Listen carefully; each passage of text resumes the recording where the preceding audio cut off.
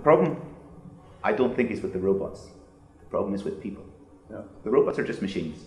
They just do what people tell them to do. if people tell them to do bad things, they'll do bad things.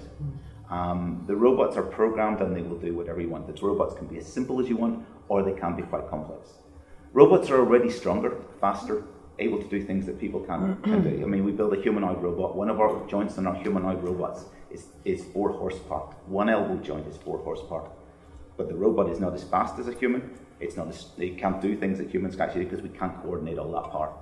But it potentially has all the, all the abilities to be able to do that.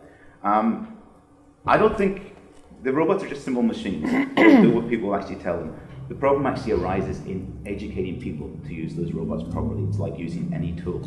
You have to educate people to use them. And, and I get concerns with things like the way social media sort of developed, and nobody was ever taught how to use social media properly. And I worry that robots will have the same type of thing, that, that we'll just end up with robots and people just go, they'll say to a robot, I really don't like that person.